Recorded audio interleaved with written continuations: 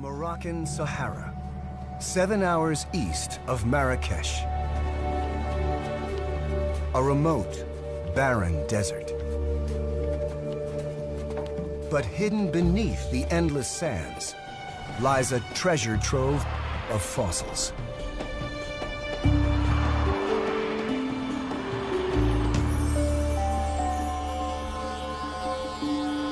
Morocco's ancient rock has preserved an amazingly complete record of life here. From prehistoric insects and sea creatures to crocodiles and dinosaurs. Today, they're a precious resource. The Moroccan fossil trade brings in tens of millions of dollars a year. What you have here, it's a little bit like a geology book, you know, so you have fossils, you have trilobites, you have uh, corals, minerals. It's, it's literally the history of life on our planet laid out on these benches. That's why paleontologist Nizar Ibrahim is here. He's come to Morocco's fossil capital, Erfoud, in search of one of the rarest, most mysterious animals ever discovered. A killer, even larger than T-Rex.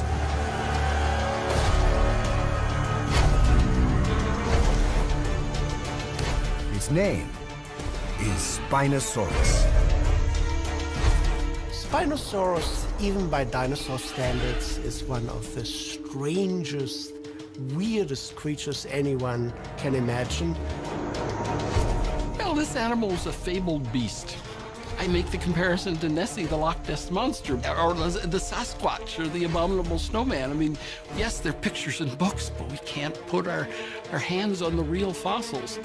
Spinosaurus is one of the great mysteries of the dinosaur world. This is an animal that we know was enormous, we know was very strange, but short of that, we don't know that much about it. Spinosaurus tooth. Sharp, conical, and very large teeth discovered all across North Africa offer telltale signs of this powerful predator. The problem is, very few Spinosaurus bones have been found to go with them. Spinosaurus fossils are very rare. Teeth are actually fairly common find, but an associated skeleton, several bones that belong to the same animal, that's something that happens once every hundred years. Nizar, a specialist in North Africa's ancient fossil beds, has spent the last decade scouring museum collections and fossil shops around the world for elusive Spinosaurus bones. I was looking at everything, just hoping to find something that someone hadn't seen before.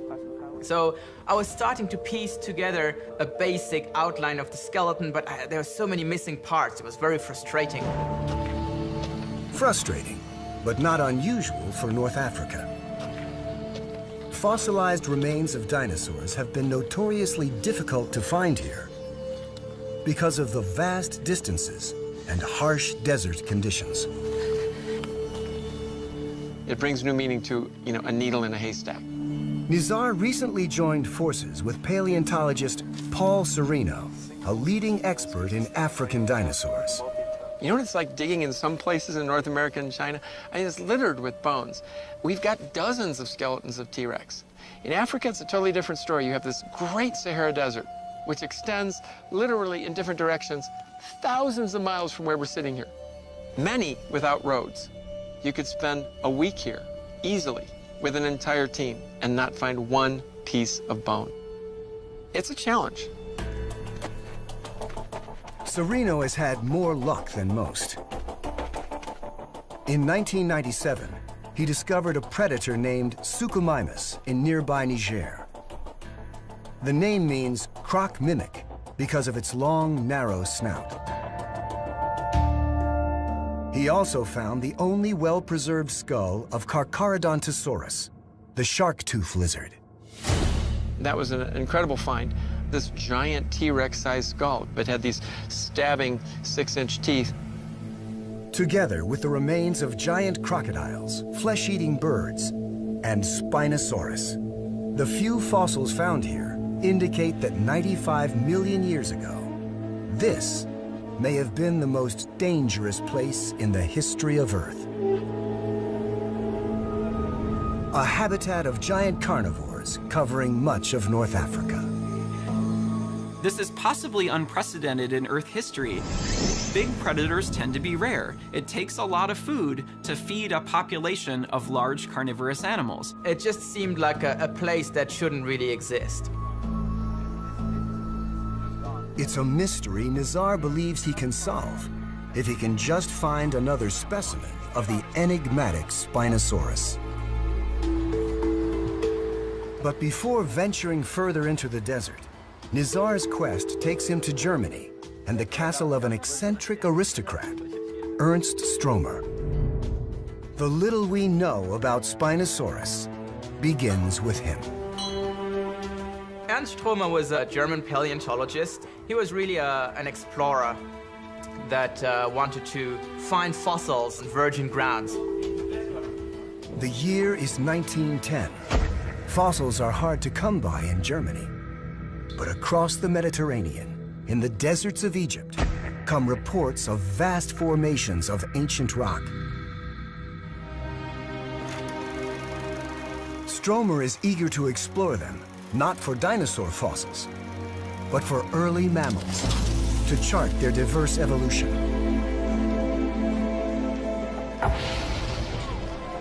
With the help of an Austrian fossil hunter named Richard Marggraf, he scopes out several locations. The most promising, according to their crude geological maps, appears to be the Bahariya Oasis on the edge of the Sahara Desert.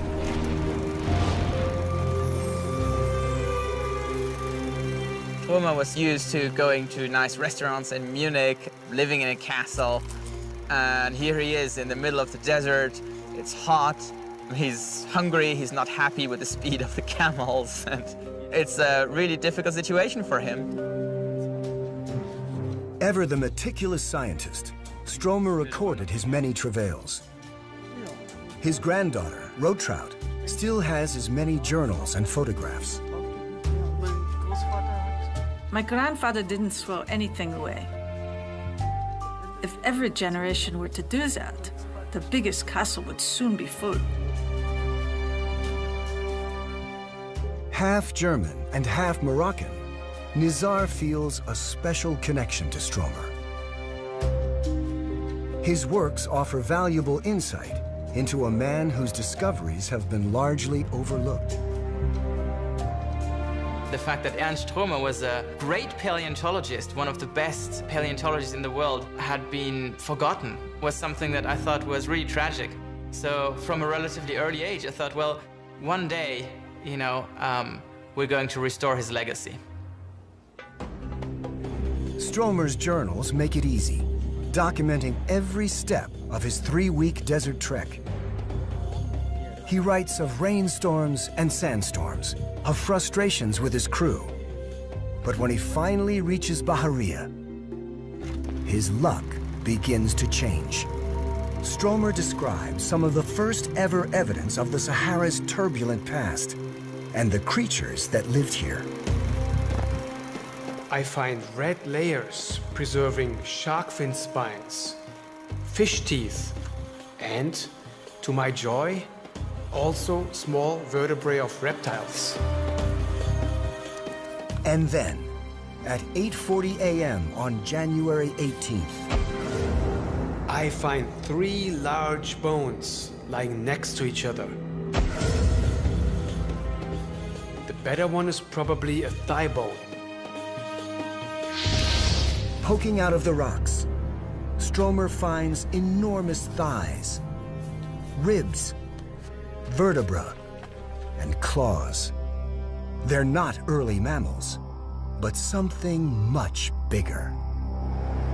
Apparently, these are the first of Egypt's dinosaurs.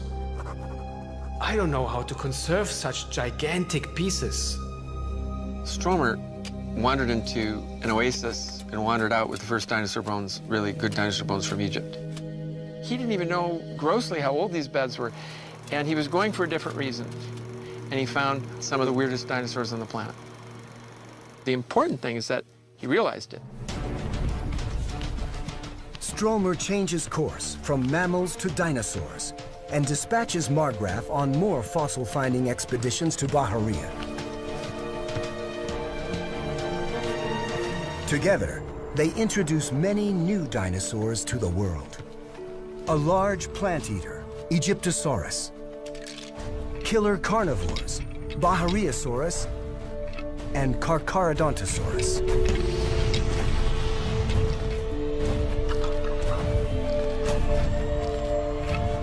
And the biggest, most bizarre dinosaur of all.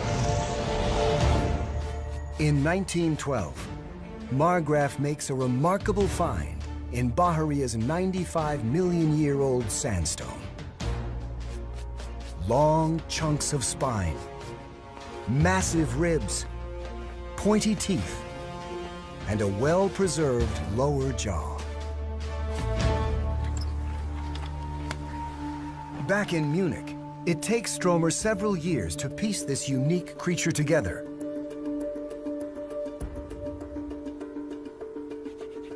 He describes an animal with jaws like a crocodile, smooth cone-shaped teeth, razor-sharp claws,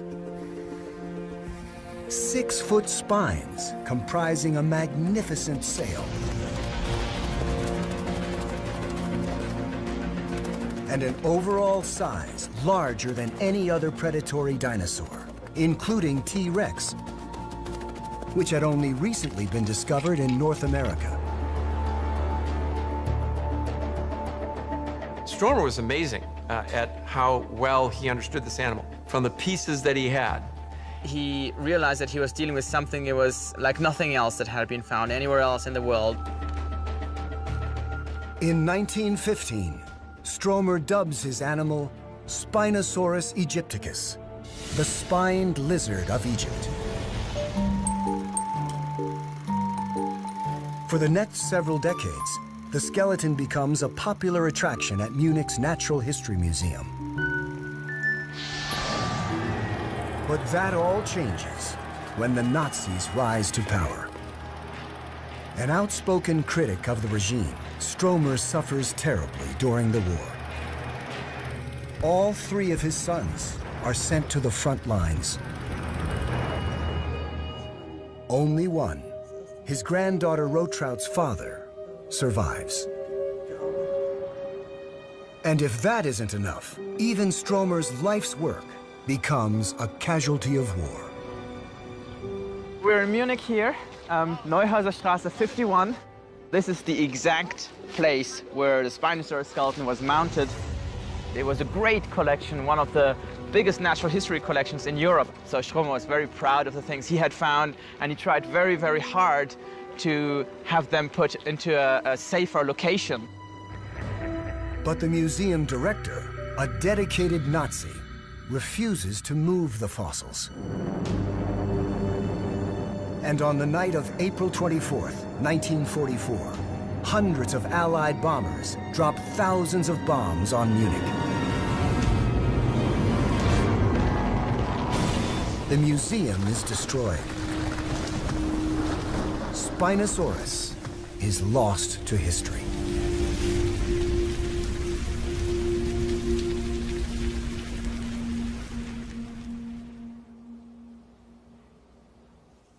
This is the only surviving image of the mounted Spinosaurus skeleton. Just imagine you spend decades of your life doing research and then in one night everything is destroyed. The loss of his sons, of course, was the biggest loss in his life, but the dinosaurs were a very close second. Those were unique specimens, and I think he knew that it was very difficult to find fossils in the Sahara. And he was right. Stromer died in 1952. His journals and photographs survive. But without skeletons to grace exhibit halls or fossils to study, his dinosaurs are overshadowed by T-Rex and other more familiar beasts. Not having the original Spinosaurus skeleton is a tremendous loss to dinosaur paleontology. We can't go and examine his observations directly. You had this fleeting glimpse of something and then it's gone. I mean, this is about as frustrating as it gets for paleontologists. 60 years later, Spinosaurus and the terrifying world it lived in is as mysterious as ever.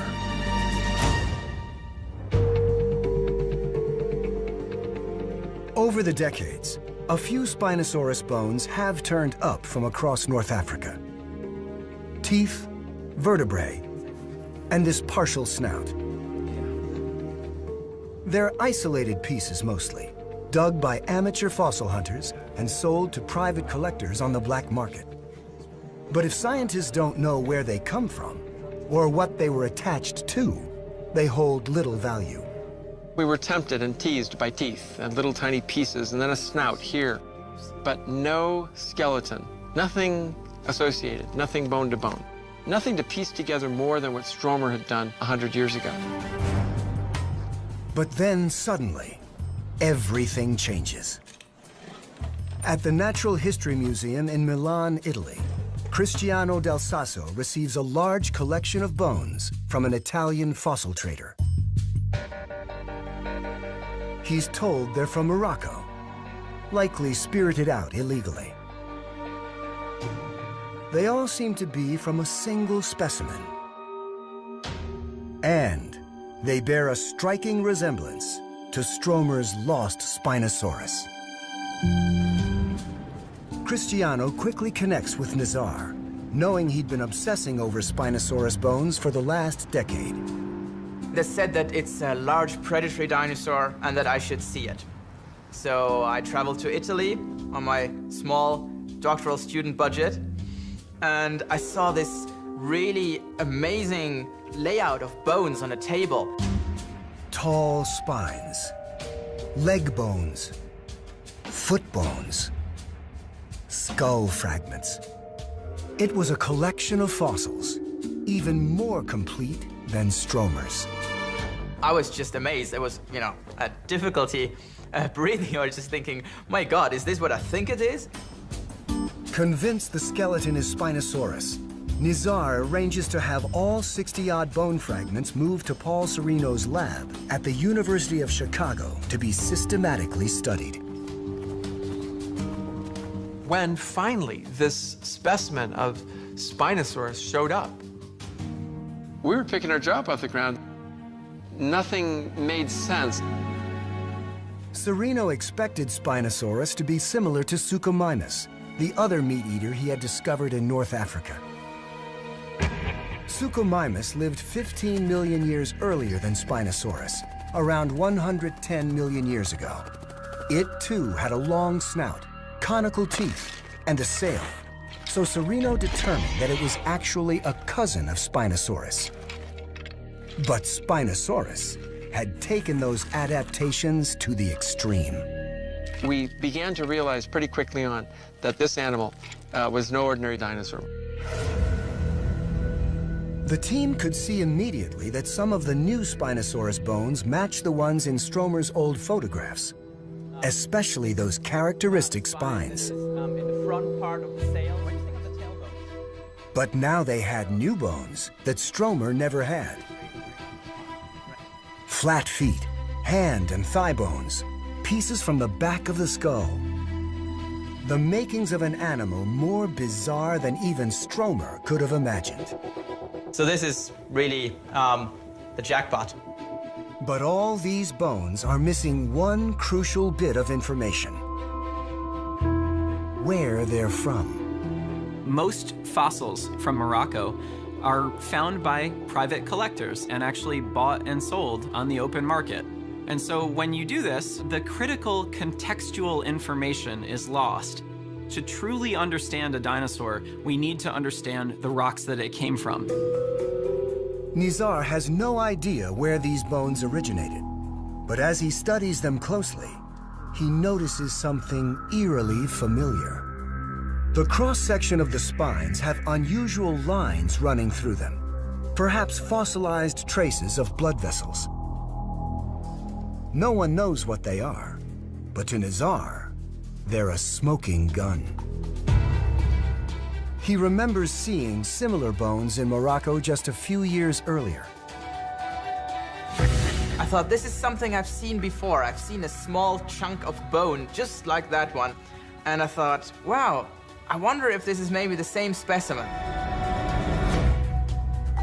If it is the same specimen and the bones match, Nizar might be able to track down the fossil hunter who dug them up. The only person who could take Nizar to the exact spot the dinosaur was pulled from. It's a long shot, but worth a trip back to Erfoud. Nizar has to rack his brain to remember details of the fossil dealer who first showed him the chunk of bone. He vaguely recalls a tall, mustached man in a white tunic. It became clear very quickly that that description fit many, many men in Erfoud. Everybody thought that I was crazy. Um, this had never been done before. Moroccan fossils have been described for many, many years, and nobody has ever been able to trace them back to the original site. With the help of British paleontologist Dave Martill and Moroccan Samir Zouhri, Nizar goes village to village, shop to shop, chatting up the locals for clues to the fossil hunter's whereabouts. I'm trying to find a needle in a haystack. Actually, it's much bigger than a haystack. It's a needle in the Sahara. Given Morocco's vague export laws, Nizar needs to tread carefully. Dealers here are allowed to dig up and sell all the common fossils they want. Trilobites, ammonites, even dinosaur teeth. Oh, wow. But exporting rare fossils out of Morocco without a license is illegal. Even if Nizar does find the man he's looking for, there's no guarantee he'll agree to help. Those are some big teeth. There's some really nice uh, specimens here, but it's all isolated pieces, so that's all they're finding here. No associated skeletons. This is not where our skeleton came from, that's for sure. The trail in the fossil shops is going cold. Nizar decides to head south from Erfoud toward Morocco's ill-defined border with Algeria, where most of the country's fossils are found. Is he one of the diggers? Yeah, he's one of the diggers. Oh, excellent. Oh, he should know where he's going then. Diggers here don't have any special training. With shovels and other crude tools, they bore tunnels straight into the rock, pulling out any fossils they can, often damaging them in the process. They're just digging to get out what is, in essence, strange looking rocks. They don't document the circumstances, they don't document, in most cases, where something actually came from. It's really like a Swiss cheese, lots of holes and openings. And of course, there's no scaffolding, no support structures, and it's, it's pretty soft sandstone. People have died, and of course, they're breathing in all the dust every day. Um, very difficult work. Despite the risks, diggers depend on the income, and paleontologists depend on them, crude as their techniques may be. Now, this is how most, fossils are found. You know, most fossils are not found by professionals. You know, if they weren't doing this, there's nobody else that has been out here collecting things in, in a you know, systematic fashion.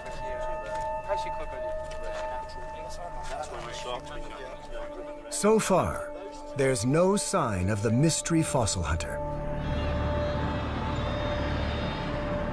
Back in Erfoud, Nizar is ready to give up. My morale is very low, just trying to figure out what to do next. You know, it's just being back at square one. And right in that moment, when I'm at the very lowest point, this figure walks past me. And after just a few seconds, it became clear that he was the man I was looking for. He was the one. Against all odds, the man actually remembers meeting Nizar several years ago. He recalls showing him a chunk of bone with lines running through them. And yes, he did dig up the rest of that skeleton.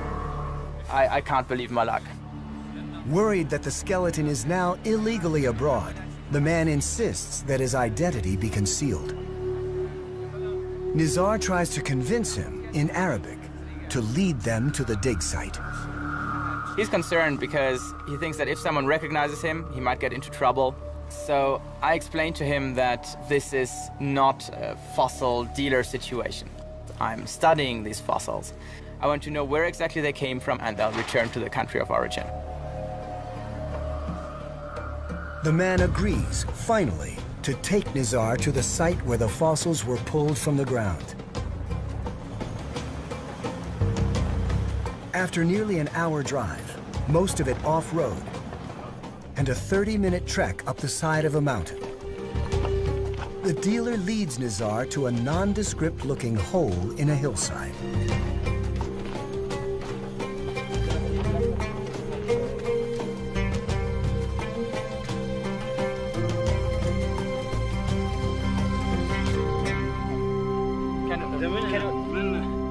Within minutes, in the fill surrounding the dig site, they discover fragments of bones and teeth, all but certainly Spinosaurus. This is amazing. I mean, this will take some time to sink in, but this is amazing. It feels really surreal. The dealer explains how it took two people digging for two months straight to get the skeleton out, and how he sold it to an Italian fossil dealer for the equivalent of 14,000 US dollars. Uh, this is the best thing he's ever found, and he's never found anything even close to that in terms of completeness. You find pretty bones, but never, ever uh, a partial skeleton. The fact that they were able to relocate the discovery site of the skeleton is remarkable and is going to provide much needed information about the environmental context of, of Spinosaurus. Within months, Nizar rallies Paul Sereno, Cristiano Dal Sasso from Milan, and colleagues from the UK and Morocco to conduct a more thorough excavation. Wow, so this is it. Wow. Their goal now is simple. Characterize the rock and landscape to see when and how Spinosaurus lived, and if they can, find more bones. Rather than boring tunnels straight into the rock, as the fossil hunter did, paleontologists excavate from the top. Oh, this is the overburden. A very hard rock over the layer that had the Spinosaurus bones. So we're widening this opening to the cave until we can get a surface here that is just above where the bones were found. We know they were found in a layer right down here. So to move this layer is the pay dirt here. At the bottom of the hill, Dave Martill takes a different tack, sifting through the tons of fill the local digger already discarded.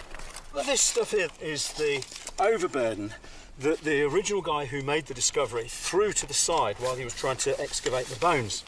But I don't think he was looking carefully enough, so I'm going through all of this. He needs to pass a massive amount of material through his sieve. But after several hours, Dave strikes pay dirt. Chunks of cone-shaped teeth, even a piece of jawbone that are all classic Spinosaurus. Well, even from small bits like that, I stand a chance of rebuilding an entire tooth, which is what I intend to do. It's just that I've got about three tons of material to sift through. The scientists scramble over the rocks for days, retrieving and assembling as many bits and pieces of the skeleton as they can.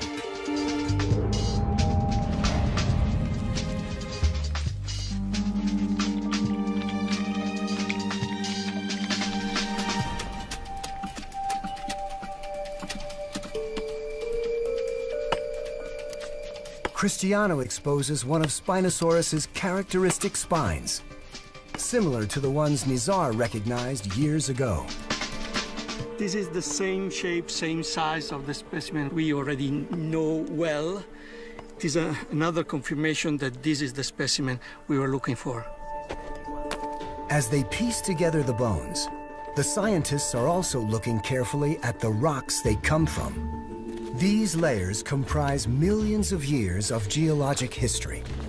But can they reveal the habitat Spinosaurus lived in and how he survived alongside the other giant carnivores?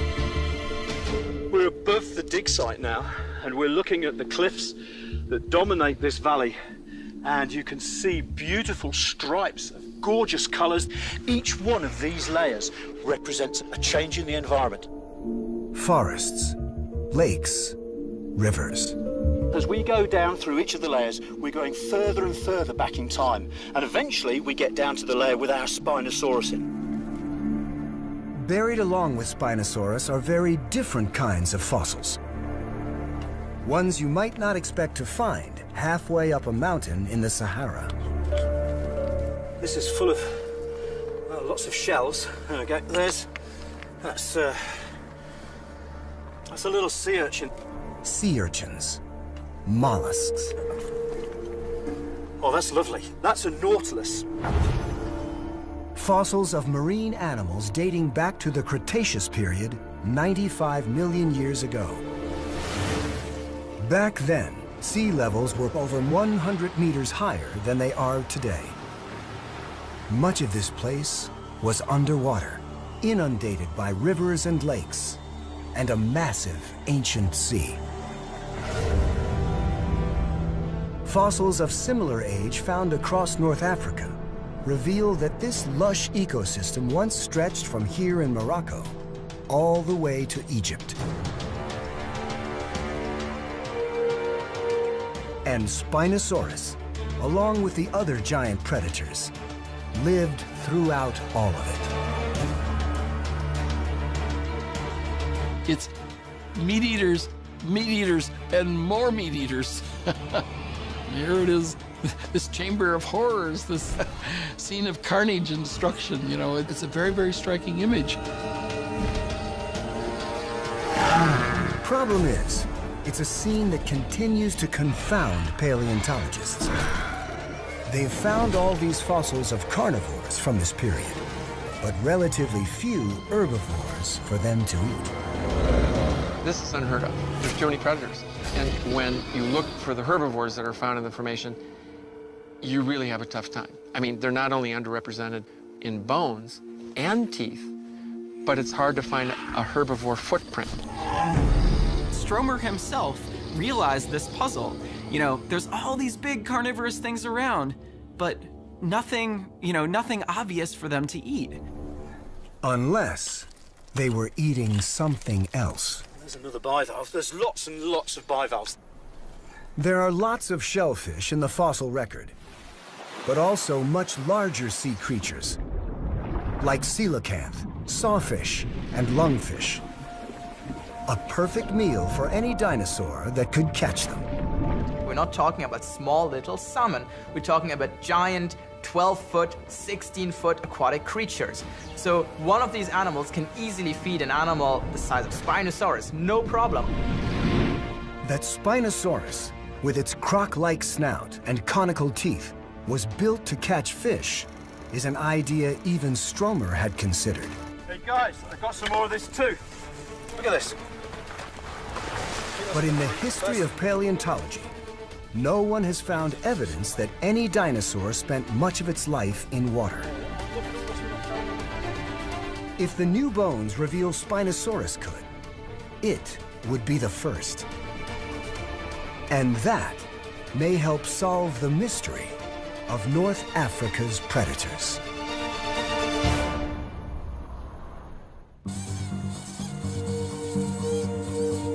Back at the University of Chicago, the team quickly gets to work prepping and analyzing their new fossils, searching for any clues that Spinosaurus may have been aquatic. A full century after Ernst Stromer first studied and described Spinosaurus, Nizar and Paul finally have a new skeleton to study. Extremely exciting to hear that there was a skeleton out there. Just like, wow. Paleontologists have been awaiting the discovery of a new Spinosaurus skeleton ever since the first one was destroyed.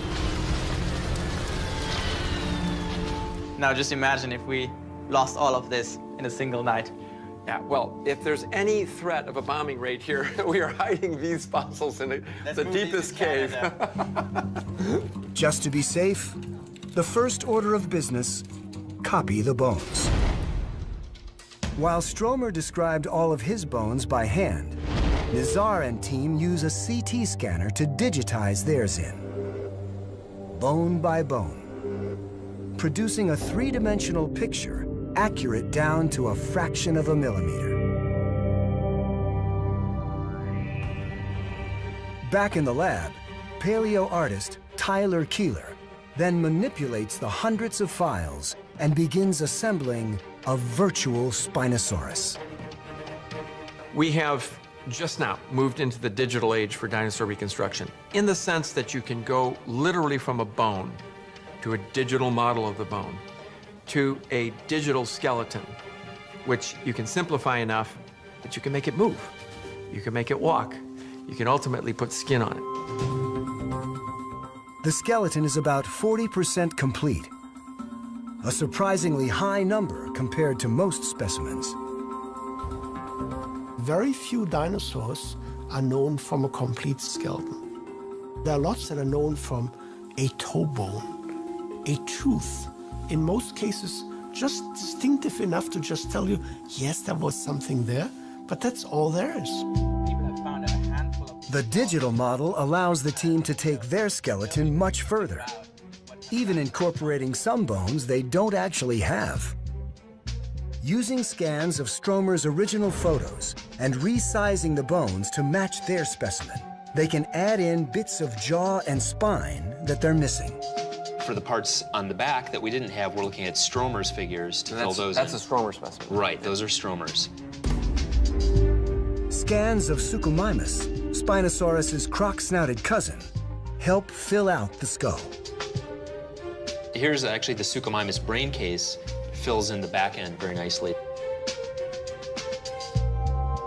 Scaling and incorporating bones from other specimens, they up their total from 40 to over 60%.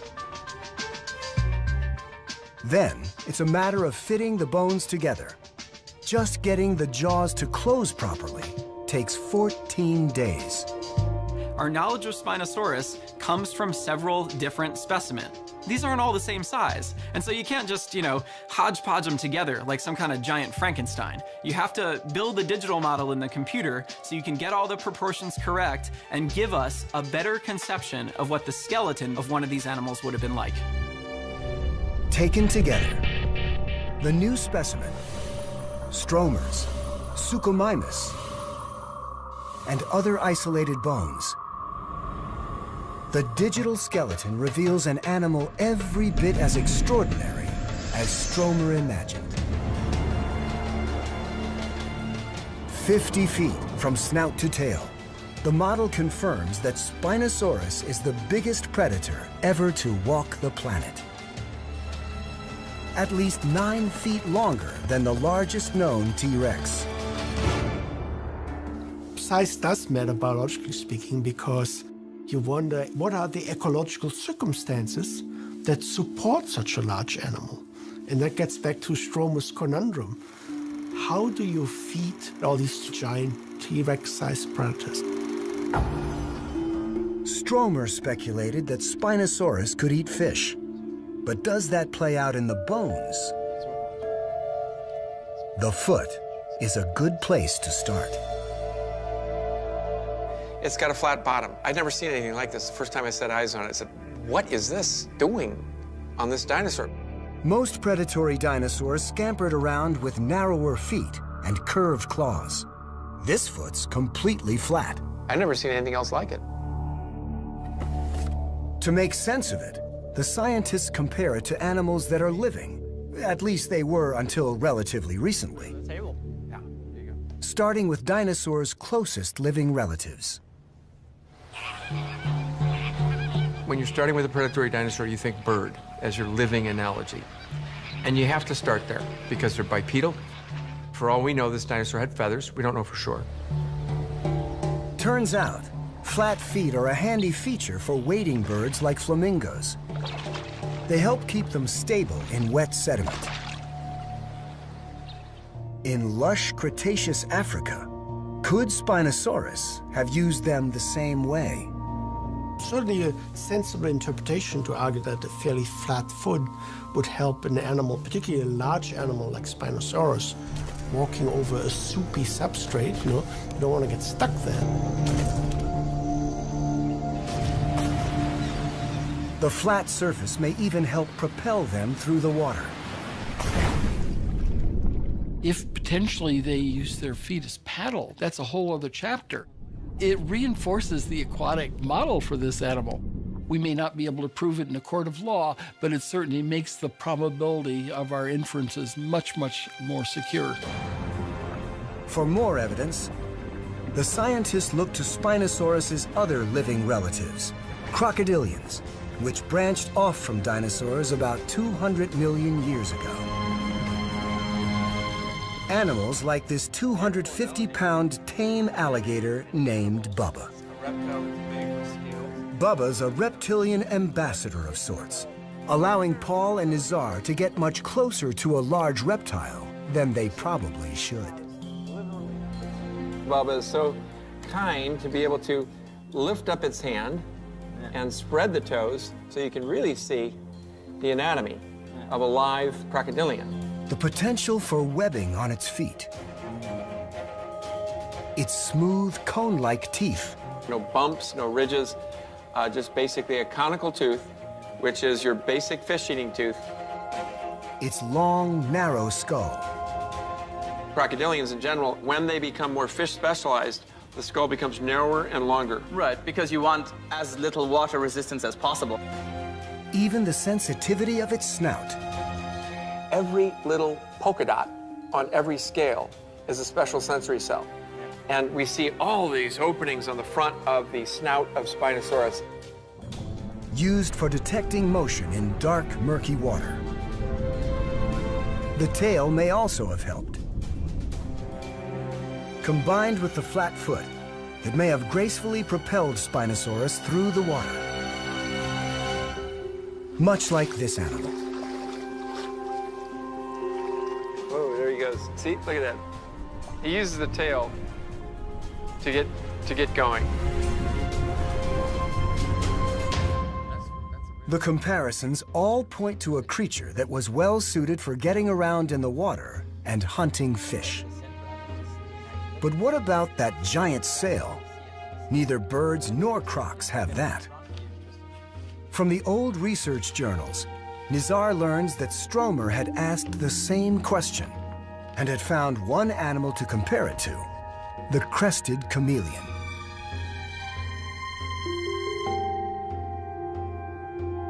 Look at this, at the right where that ligament attaches, mm-hmm. there's an expansion. That's right, they all have this, this broad base, right? Wow, that is absolutely neat.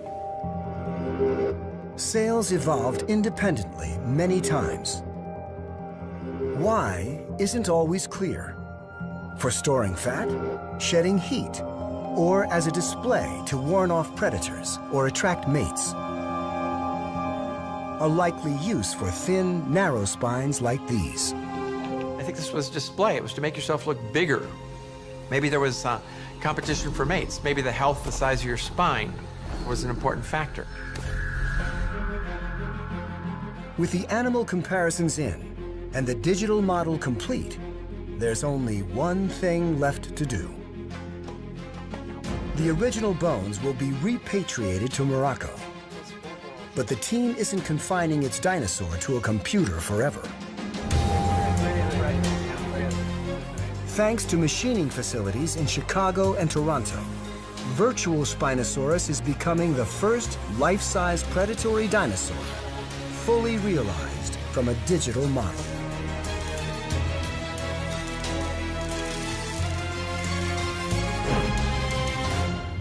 Seeing it for the first time, up close and personal, Paul and Nizar are confronted with just how massive Spinosaurus is, and how bizarre. It's front heavy. You've got an eight foot plus sail made of solid bone. You've got an elongate trunk, longer than most dinosaurs. You've got massive forelimbs, the most massive of any dinosaur, a long neck and then a long skull cantilevered on this side. Where's the balance? The skeleton towering over them forces the scientists to rethink how Spinosaurus got around. Looking at the skeleton, it was certainly, you know, very different from the, the mode of, of locomotion of any other dinosaur. It may have needed to use its long forelimbs for walking, a first for predatory dinosaurs, which so far have been strictly bipedal. While it hails from the two-legged dinosaur group of carnivores, it might be using those grabbing, rasping hands to walk. Otherwise, it's going to fall on its lovely crocodile-like head. Of course, that's only when it was walking on land. More likely, the finding is another strong indicator that Spinosaurus is different from any other dinosaur ever discovered. It appears to have forsaken the land, evolving over millions of years to thrive in water. It is one of the great mysteries of the dinosaur era that every other major group has seemed to invade the water, and no dinosaur had ever done this. Never a dinosaur with a fin for swimming. Never a dinosaur with anything we could point to to say, that was adapted for being in water. This is the first time, and it's really exciting.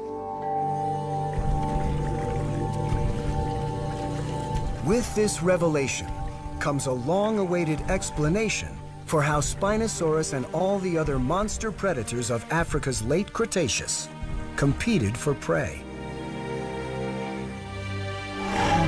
Quite simply, they didn't.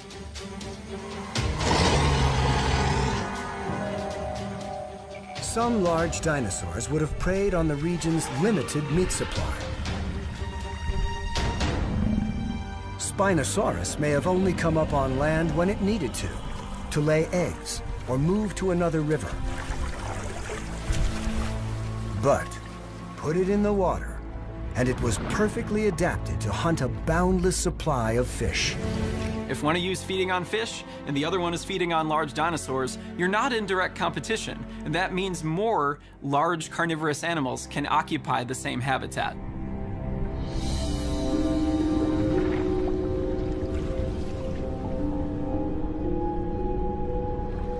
Paddle-like feet and powerful tail propel it through the murky, turbid water. Sensors in the snout help home in on prey. And at precisely the right moment, Spinosaurus does what its body is built to do.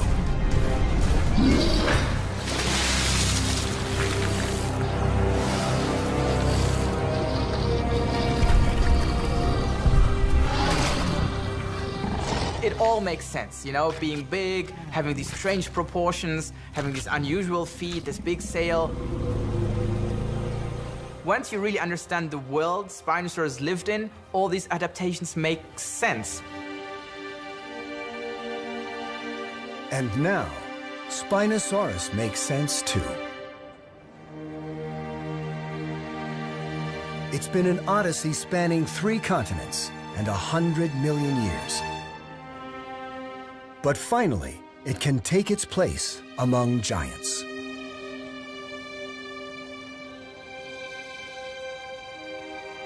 It is the weirdest, large, largest predatory dinosaur that we may ever find in our lifetime. But the saga behind this dinosaur, the man who was associated with the first bones, world wars, the contraband fossils, it's a story that has so many dimensions, it's going to be hard to top. Spinosaurus hadn't really captured the public's imagination because it just wasn't real. It was like a made-up dragon. But with this skeleton, you know, things are going to change. It's absolutely going to capture the imagination of the world. Spinosaurus, the world's first aquatic dinosaur. largest predator is the lost killer of the Cretaceous.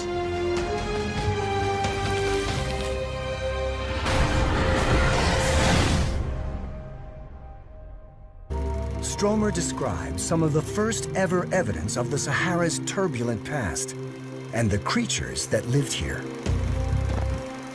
I find red layers preserving shark fin spines, fish teeth, and to my joy, also small vertebrae of reptiles.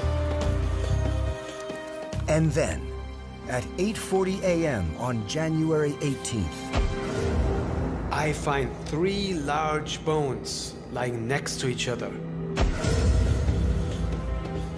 The better one is probably a thigh bone. Poking out of the rocks, Stromer finds enormous thighs, ribs, vertebra, and claws. They're not early mammals, but something much bigger. Apparently, these are the first of Egypt's dinosaurs. I don't know how to conserve such gigantic pieces. Stromer wandered into an oasis and wandered out with the first dinosaur bones, really good dinosaur bones from Egypt. He didn't even know grossly how old these beds were, and he was going for a different reason. And he found some of the weirdest dinosaurs on the planet. The important thing is that he realized it. Stromer changes course from mammals to dinosaurs and dispatches Markgraf on more fossil-finding expeditions to Bahariya. Together, they introduce many new dinosaurs to the world. A large plant eater, Aegyptosaurus. Killer carnivores, Bahariosaurus and Carcharodontosaurus.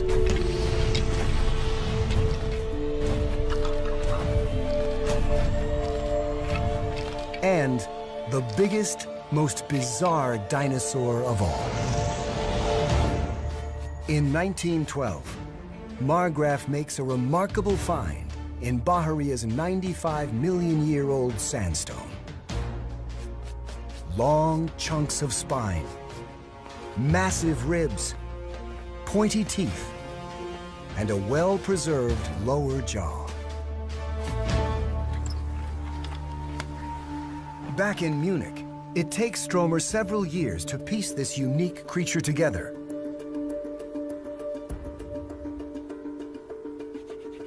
He describes an animal with jaws like a crocodile, smooth cone-shaped teeth, razor-sharp claws,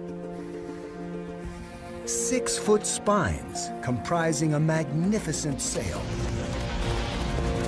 Nizar needs to tread carefully. Dealers here are allowed to dig up and sell all the common fossils they want. Trilobites, ammonites, even dinosaur teeth. But exporting rare fossils out of Morocco without a license is illegal. Even if Nizar does find the man he's looking for, there's no guarantee he'll agree to help. Those are some big teeth. There's some really nice uh, specimens here, but it's all isolated pieces, so that's all they're finding here. No associated skeletons. This is not where our skeleton came from, that's for sure. The trail in the fossil shops is going cold. Nizar decides to head south from Erfoud toward Morocco's ill-defined border with Algeria, where most of the country's fossils are found. Is he one of the diggers? Yeah, he's one of the diggers. Oh, excellent. Oh, he should know where he's going then. Diggers here don't have any special training. With shovels and other crude tools, they bore tunnels straight into the rock, pulling out any fossils they can, often damaging them in the process. They're just digging to get out what is, in essence, strange-looking rocks. They don't document the circumstances. They don't document, in most cases, where something actually came from. It's really like a Swiss cheese, lots of holes and openings. And of course, there's no scaffolding, no support structures, and it's, it's pretty soft sandstone. People have died, and of course, they're breathing in all the dust every day. Um, very difficult work. Despite the risks, diggers depend on the income, and paleontologists depend on them, crude as their techniques may be. Now, this is how most, most fossils are found. You know, most fossils are not found by professionals. You know, if they weren't doing this, there's nobody else that has been out here collecting things in, in a you know, systematic fashion.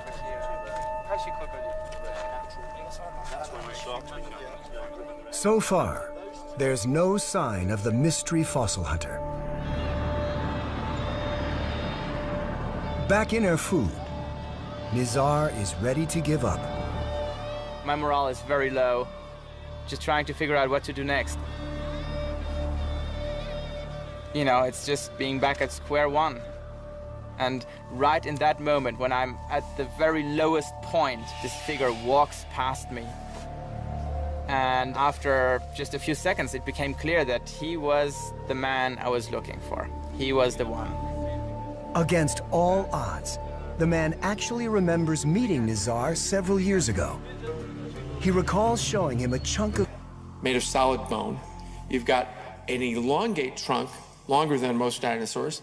You've got massive forelimbs, the most massive of any dinosaur, a long neck, and then a long skull, cantilevered on this side. Where's the balance? The skeleton towering over them forces the scientists to rethink how Spinosaurus got around. Looking at the skeleton, it was certainly, you know, very different from the, the mode of, of locomotion of any other dinosaur. It may have needed to use its long forelimbs for walking, a first for predatory dinosaurs, which so far have been strictly bipedal. While it hails from the two-legged dinosaur group of carnivores, it might be using those grabbing, rasping hands to walk. Otherwise, it's going to fall on its lovely crocodile-like head. Of course, that's only when it was walking on land. More likely, the finding is another strong indicator that Spinosaurus is different from any other dinosaur ever discovered. It appears to have forsaken the land, evolving over millions of years to thrive in water. It is one of the great mysteries of the dinosaur era that every other major group has seemed to invade the water, and no dinosaur had ever done this. Never a dinosaur with a fin for swimming. Never a dinosaur with anything we could point to to say, that was adapted for being in water. This is the first time, and it's really exciting. With this revelation comes a long-awaited explanation for how Spinosaurus and all the other monster predators of Africa's late Cretaceous competed for prey. Quite simply, they didn't.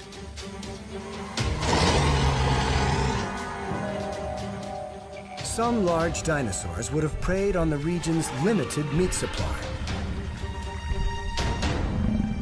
Spinosaurus may have only come up on land when it needed to, to lay eggs or move to another river. But put it in the water, and it was perfectly adapted to hunt a boundless supply of fish. If one of you is feeding on fish and the other one is feeding on large dinosaurs, you're not in direct competition, and that means more large carnivorous animals can occupy the same habitat.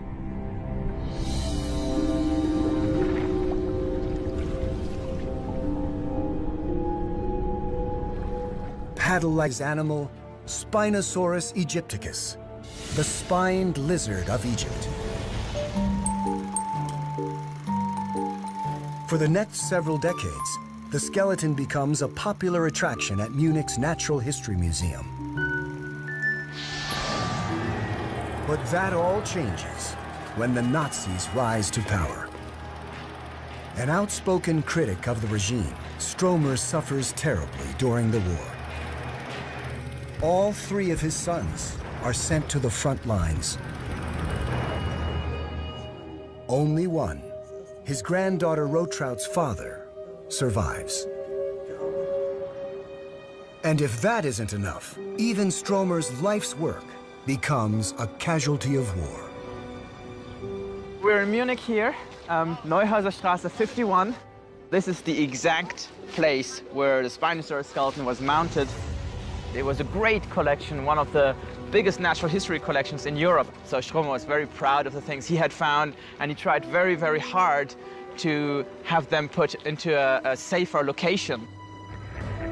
But the museum director, a dedicated Nazi, refuses to move the fossils. And on the night of April 24th, 1944, hundreds of Allied bombers dropped thousands of bombs on Munich. The museum is destroyed. Spinosaurus is lost to history.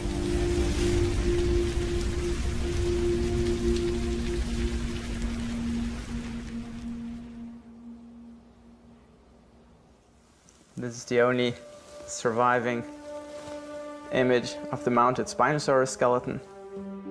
Just imagine you spend decades of your life doing research and then in one night everything is destroyed.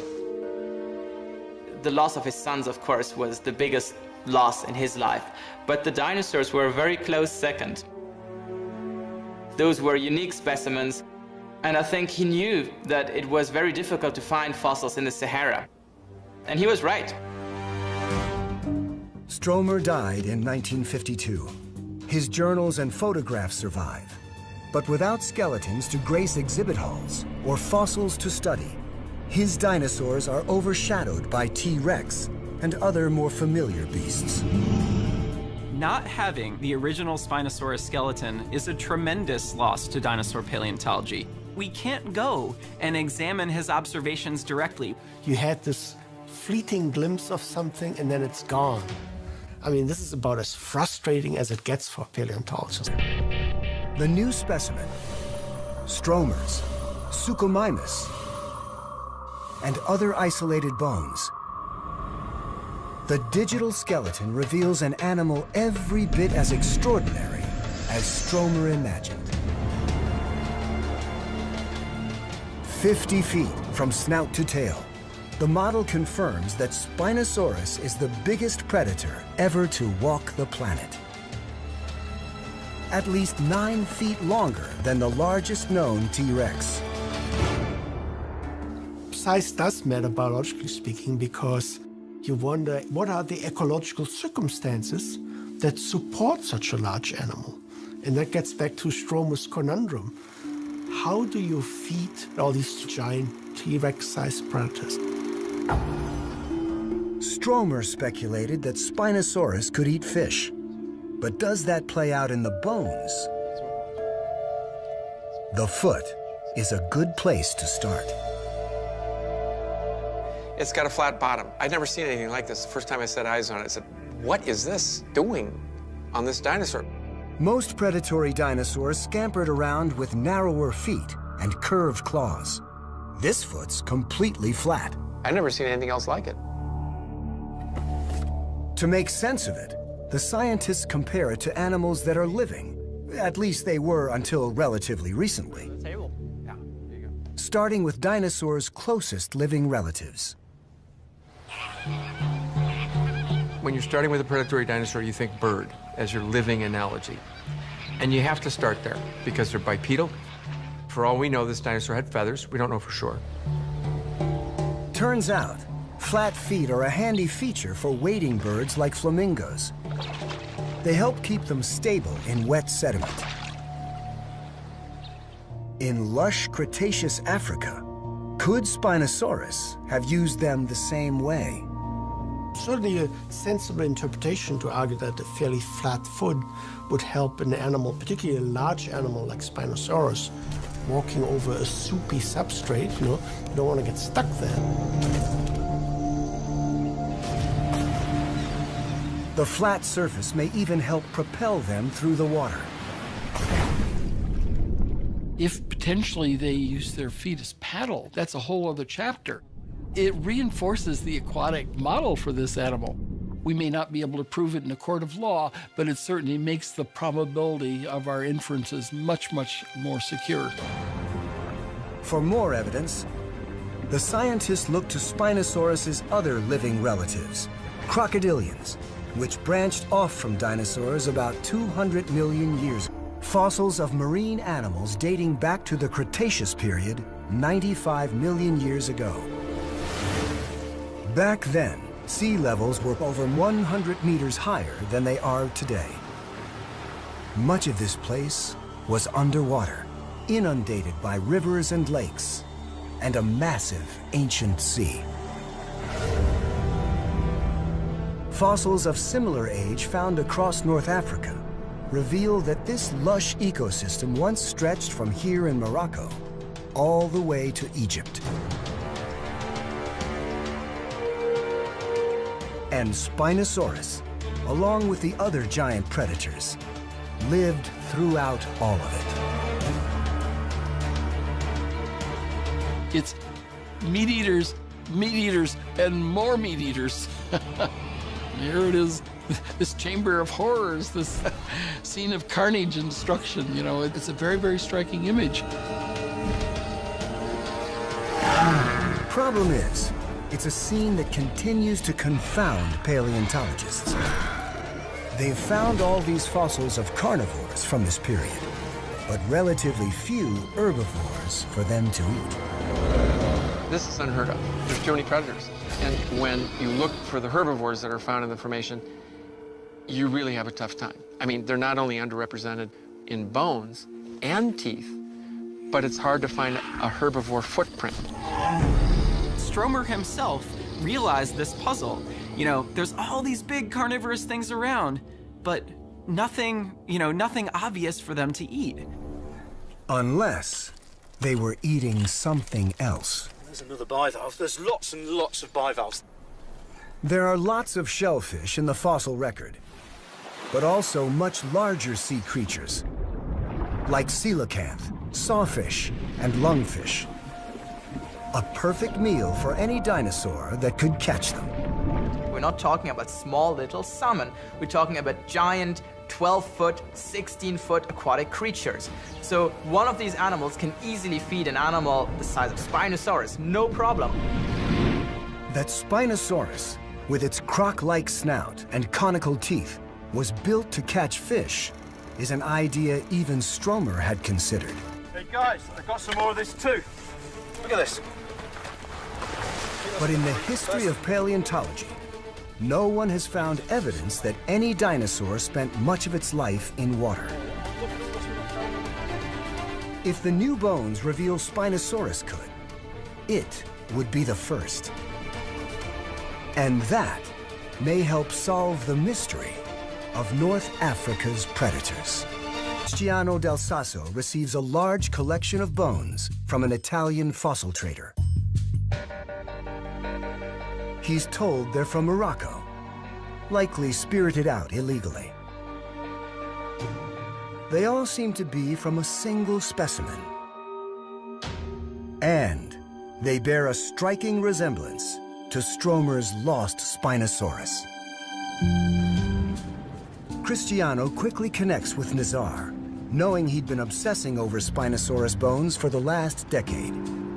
They said that it's a large predatory dinosaur and that I should see it. So I traveled to Italy on my small doctoral student budget, and I saw this really amazing layout of bones on a table.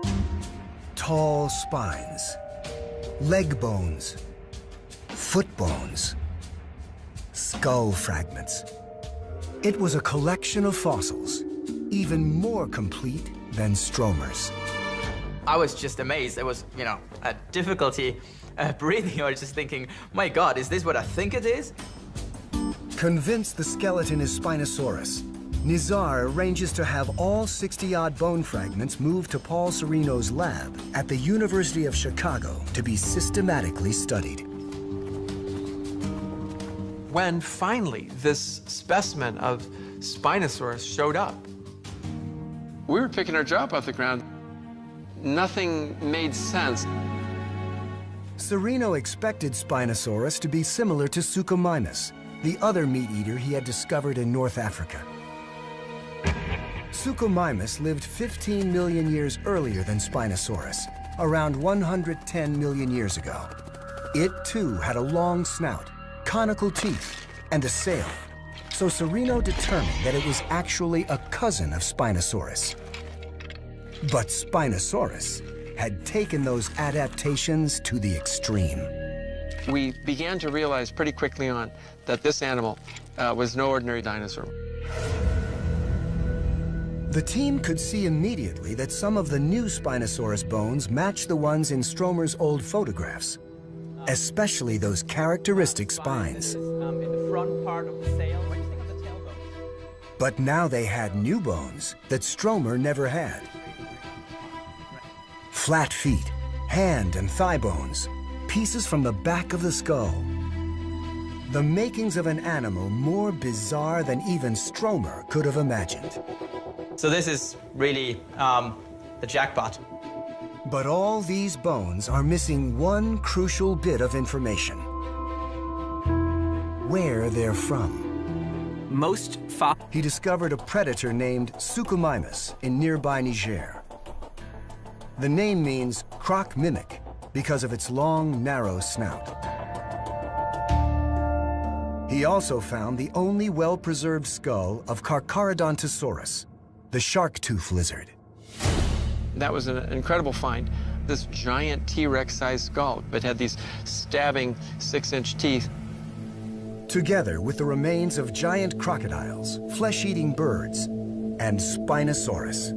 The few fossils found here indicate that 95 million years ago, this may have been the most dangerous place in the history of Earth. A habitat of giant carnivores covering much of North Africa. This is possibly unprecedented in Earth history. Big predators tend to be rare. It takes a lot of food to feed a population of large carnivorous animals. It just seemed like a, a place that shouldn't really exist. It's a mystery Nizar believes he can solve if he can just find another specimen of the enigmatic Spinosaurus. But before venturing further into the desert, Nizar's quest takes him to Germany and the castle of an eccentric aristocrat, Ernst Stromer.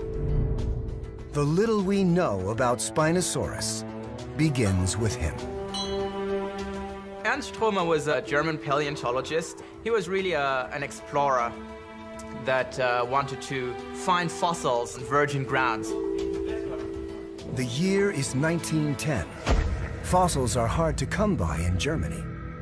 But across the Mediterranean, in the deserts of Egypt, come reports of vast formations of ancient rock.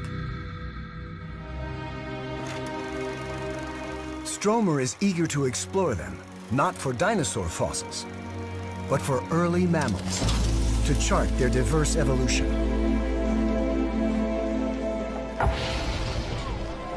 With the help of an Austrian fossil hunter named Richard Markgraf, he scopes out several locations.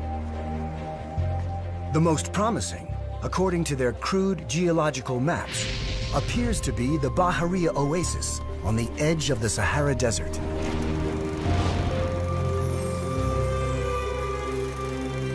Stromer was used to going to nice restaurants in Munich, living in a castle, and here he is in the middle of the desert.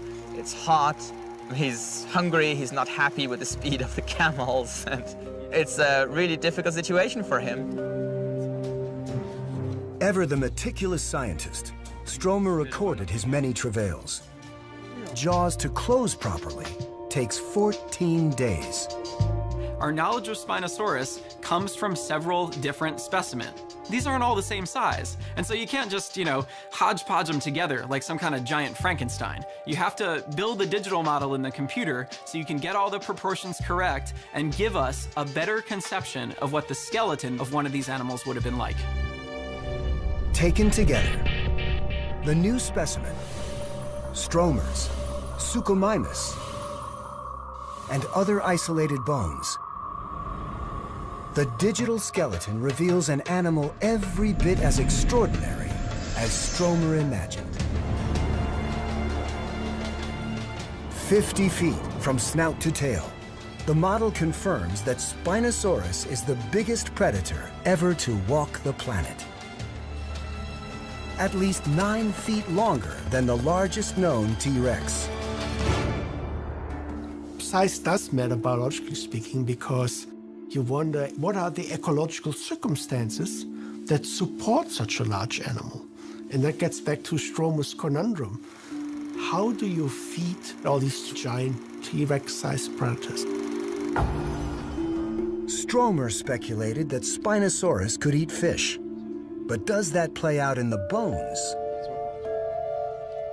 The foot is a good place to start. It's got a flat bottom. I'd never seen anything like this. The first time I set eyes on it, I said, what is this doing on this dinosaur? Most predatory dinosaurs scampered around with narrower feet and curved claws. This foot's completely flat. I'd never seen anything else like it. To make sense of it, the scientists compare it to animals that are living. At least they were until relatively recently. Starting with dinosaurs' closest living relatives. When you're starting with a predatory dinosaur, you think bird as your living analogy. And you have to start there because they're bipedal. For all we know, this dinosaur had feathers. We don't know for sure. Turns out, flat feet are a handy feature for wading birds like flamingos. They help keep them stable in wet sediment. In lush Cretaceous Africa, could Spinosaurus have used them the same way? Certainly a sensible interpretation to argue that a fairly flat foot would help an animal, particularly a large animal like Spinosaurus, walking over a soupy substrate, you know, you don't want to get stuck there. The flat surface may even help propel them through the water. If potentially they used describe some of the first ever evidence of the Sahara's turbulent past and the creatures that lived here.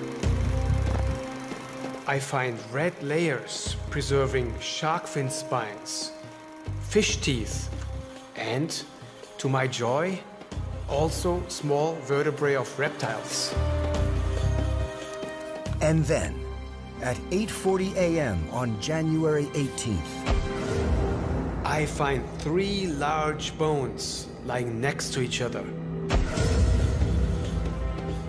The better one is probably a thigh bone.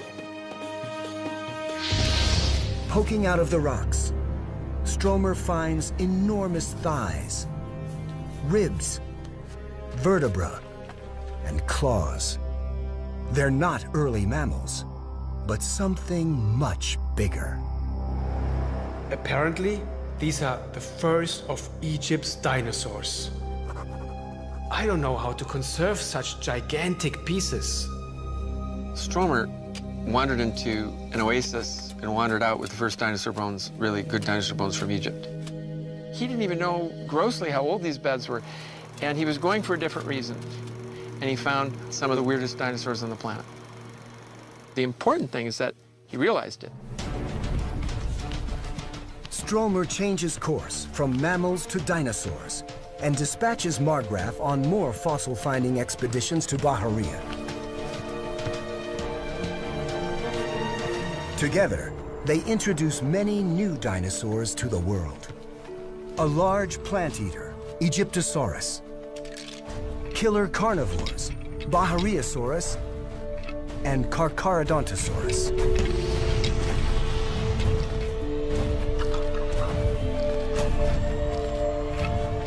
And the biggest, most bizarre dinosaur of all. In 1912, Markgraf makes a remarkable find in Bahariya's 95 million year old sandstone. Long chunks of spine, massive ribs, pointy teeth, and a well-preserved lower jaw.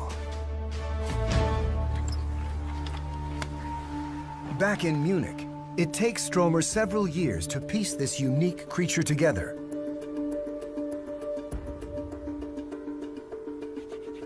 He describes an animal with jaws like a crocodile, smooth cone-shaped teeth, razor-sharp claws, six-foot spines comprising a magnificent sail.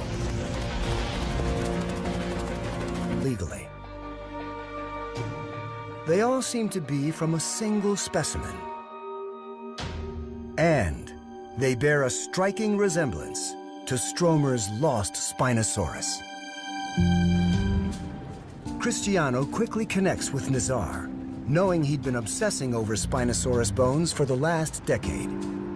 They said that it's a large predatory dinosaur and that I should see it.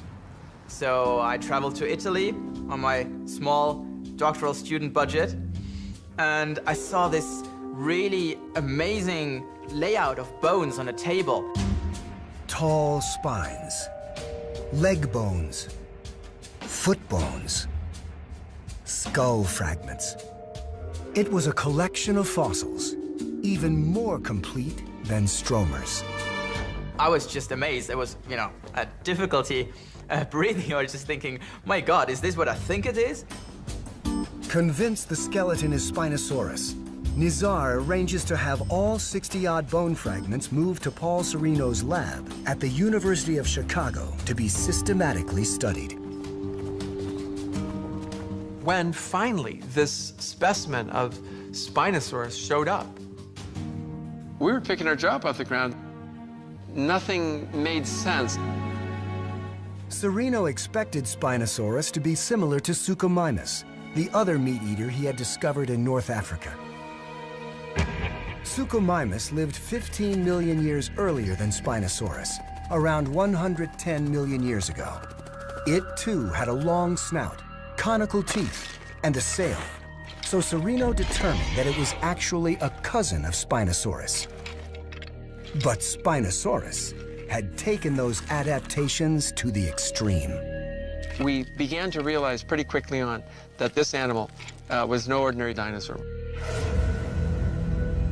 The team could see immediately that some of the new Spinosaurus bones matched the ones in Stromer's old photographs, especially those characteristic spines. But now they had new bones that Stromer never had. Flat feet, hand and thigh bones, pieces from the back of the skull. The makings of an animal more bizarre than even Stromer could have imagined. So this is really um, the jackpot. But all these bones are missing one crucial bit of information. Where they're from. Most fossils from Morocco are found by private collectors and actually bought and sold on the open market. And so when you do this, the critical contextual information is lost.